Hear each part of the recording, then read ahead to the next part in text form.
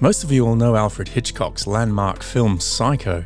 Honestly, I think it's a perfect story, perfectly told. However, is the author of the novel on which the movie is based as well known? Well, probably not as well known, but he is extremely famous. His name was Robert Bloch. He wrote three novels in the series, but neither of the sequels relate to subsequent films. Some sources cite the serial killer Ed Gein as an inspiration for the original Psycho novel, where others state Bloch only became aware of the murderer near the end of writing the manuscript. In 1959, Bloch's agent accepted a blind bid of $7,500 for the novel's movie option. Bloch received about $6,500 of this. Despite the film's enormous success, he didn't make another cent from the production.